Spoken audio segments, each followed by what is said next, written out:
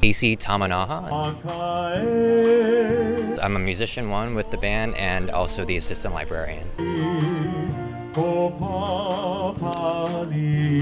I play the trumpet. I joined the band uh, full time in 2022, right before the pandemic, uh, in the beginning of March. When I first applied the job, I thought it was going to be mostly playing, but it was actually kind of fortunate for me to come into it at, when I did because my initial experience with the city and county of Honolulu was serving the community. You know, they asked us, they reallocated our group to do whatever they need to. And it was great to interact with the community that way. And then even now, people will come up to us, oh, you know, we really enjoyed your concerts at the surge testing, or when I got my vaccination, the concerts that you guys played really helped alleviate some stress in that 15 minute waiting period.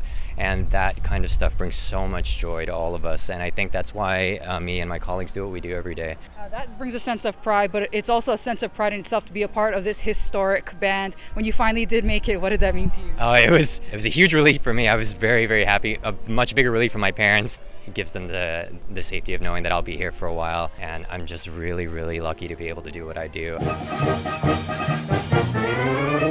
What's really special for us is, as the only full-time municipal band in the entire country, we get to play music of Hawaii and serve it to our community kind of on a daily basis. We average about 350 concerts a year, which is really good. I would say for any organization that would be a lot. And um, we're just so lucky to be able to do what we do. Is it everything you thought it would be? It's more, it's, I'm again, just so lucky to be able to do this. My colleagues are amazing, and they're so inspirational on a daily basis just with the music that they make, their passion for what they do. And although we all initially came into this because we're musicians, we're artists,